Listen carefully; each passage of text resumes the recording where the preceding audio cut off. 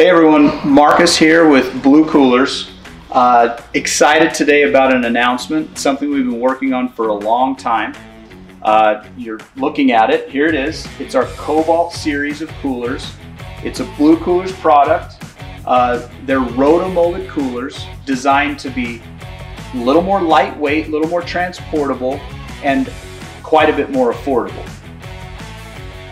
The coolers come in right now three different sizes. We have a 25 quart, we have our 55 quart, and we have our 55 quart with wheels. Uh, you can find it on our website at bluecoolers.com. And thanks everybody for watching and go check it out.